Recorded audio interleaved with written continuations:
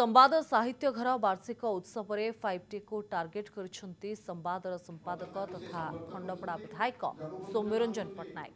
Five ଟିରେ ଦୁର୍ନୀତି ଭରି ରହିଥିବା ସେ କହିଛନ୍ତି। ଫାଇଭ୍ ଟି ପରିବର୍ତ୍ତେ ଫାଇଭ୍ ଏମ୍ ଓ ଫାଇଭ୍ ଏନ୍ କଥା କହିଛନ୍ତି। ମନର ମ ଅକ୍ଷରକୁ ଫାଇଭ୍ ଟି ଏମ୍ ପ୍ରକାରରେ ବୁଝାଇ ମା ମାଟି ମାତୃଭାଷା ମୋବାଇଲ ଏବଂ ମଦ ମୁକ୍ତ ଓଡ଼ିଶା ବିଷୟରେ ନିଜ ମତ ରଖିଥିଲେ। ମନର ଶେଷ ଅକ୍ଷର ନକୁ ନେଇ ପାଞ୍ଚଟି କଥା କହିଥିଲେ। ନିରୋଗ ଅହଙ୍କାର ନିରାଡମ୍ବର ନିଡର ଓ ନିଶାମୁକ୍ତ ଓଡ଼ିଶା କଥା ଆଲୋଚନା କରିଥିଲେ। ଭଞ୍ଜନଗରରେ ଅନୁଷ୍ଠିତ ଏହି କାର୍ଯ୍ୟକ୍ରମରେ ବହୁ ବିଶିଷ୍ଟ ବ୍ୟକ୍ତି ଯୋଗ ଦେଇଥିଲେ ଆଉ ସତକୁ ସଂଗାତ କଲେ ସାହସ ଆସିବ ଓ ନିଡର ହୋଇ ଆପଣ ନେତୃତ୍ୱ ନେଇପାରିବେ ବୋଲି ପରାମର୍ଶ ଦେଇଛନ୍ତି ସୌମ୍ୟରଞ୍ଜନ ପଟ୍ଟନାୟକ। ଏଥିସହିତ ସେ ରାଜ୍ୟ ରାଜନୀତି କିଭଳି ସ୍ଥିତିରେ ଗତି କରୁଛି ଓ ଗଣମାଧ୍ୟମରେ ଭୂମିକା ଉପରେ ଆଲୋକପାତ କରାଇଥିଲେ।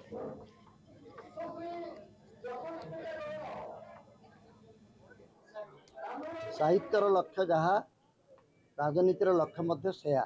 ଉଭୟ ସମୂହ ହିତ ପାଇଁ ଚେଷ୍ଟା କରନ୍ତି ବୋଲି କହନ୍ତି। ଯଦି ସମୂହ ହିତ ସମସ୍ତଙ୍କର ଲକ୍ଷ୍ୟ ହେଲା ତାହେଲେ ସାହିତ୍ୟ ରାଜନୀତି ଅଲଗା ହେବା କଥା ନୁହେଁ।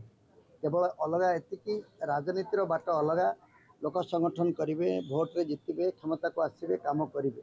କିନ୍ତୁ ସାହିତ୍ୟିକ ତାଙ୍କ ଲେଖନୀ ବଳରେ ଏଭଳି ପରିବେଶ କରିବେ ଯେ ନୀତି ନିର୍ଦ୍ଧାରଣ ବେଳେ ରାଜନୈତିକ ଲୋକମାନେ ତା ଦ୍ୱାରା ପ୍ରଭାବିତ ହେବେ।